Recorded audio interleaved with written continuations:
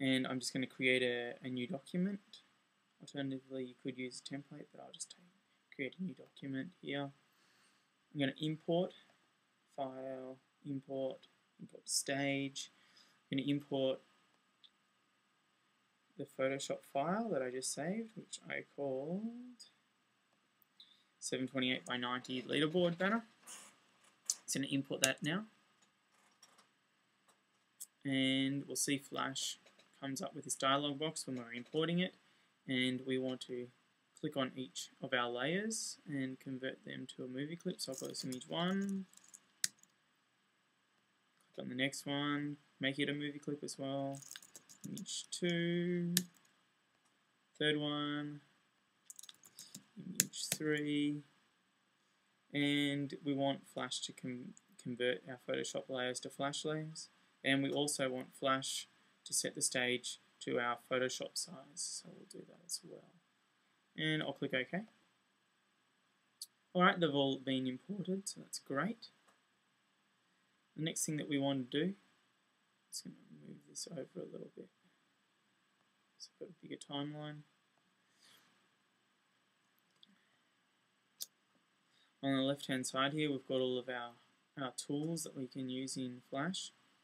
So to start off with, we've got our timeline and this is the length of time. And you can see the current frame rate is 12 frames per second. So that means every second it's going to take 12 frames to get there. Alright, so um, I'm going to want my animation to go for about uh, two seconds to go through each of these transitions. So I'm going to click out to 24 frames, out to about frame 24, and I'm going to insert a keyframe here. And I want another, I want to insert another keyframe 24 frames on from that, or make it 12, 12 frames on from that. Um, so we'll insert it into 60, having a mental blank here, uh, 36.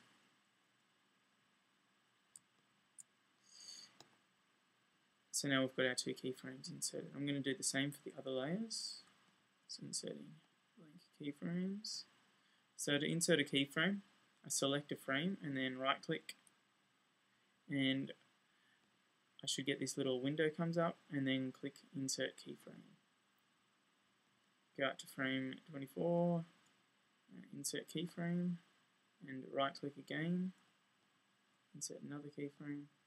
Okay, so I've got my, my three images. What I want to do is uh, create a, a motion tween. So I'm going to click on my my first uh, layer and my third keyframe and I'm going to change the properties here to alpha so I just need to pull this menu down a little bit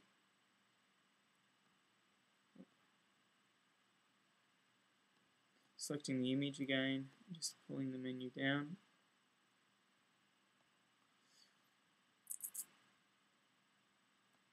and under oops, color effect there should be a an option called alpha and we want to reduce the alpha to zero. Going to go out and do that the same for the next layer.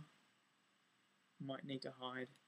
Top right click on the image, properties panel, color effect, alpha, make it zero. Hide that layer. Go over to our third image, click on that, the properties panel, and choose alpha again make that 0. Alright, so now that we've done that, we can select, I'm just clicking and dragging down with my mouse, and I've created a blue line. I'm going to right click on that blue line and create a, a classic tween. And so now, if we click up the top where the numbers are and move our mouse while we hold our left mouse down, left mouse key down, then we should be able to see a bit of our animation here.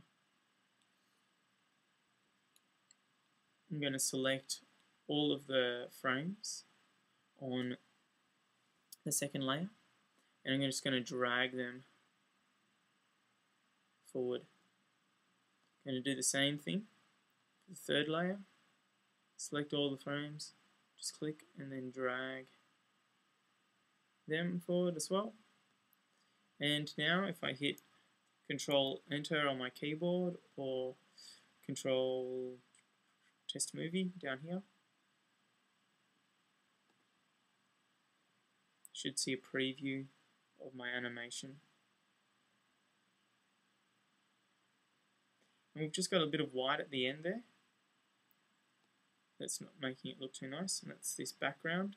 So I'm going to delete that. And then here's a trick.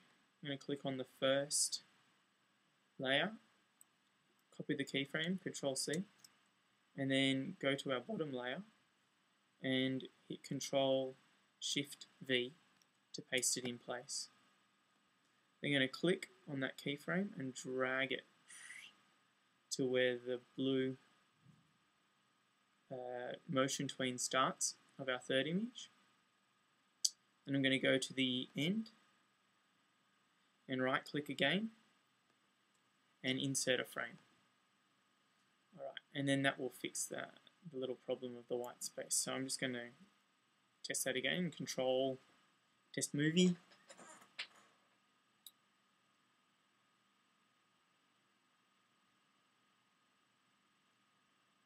We should see our three images looping through.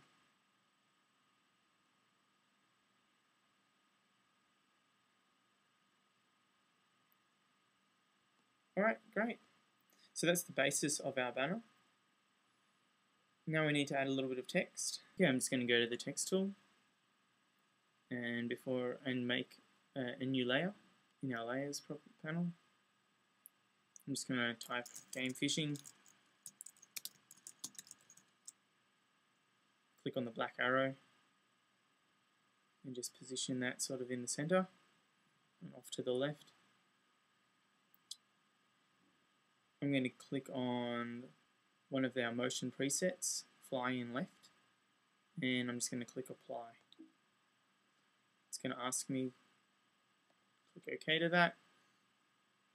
And what we should see if we scrub our timeline is that game fishing comes in. Just need to move dot a little bit further to the left, uh, sorry, to the right, so that our text from the left comes in more. And I'm just going to insert, click and then right click again to insert a frame.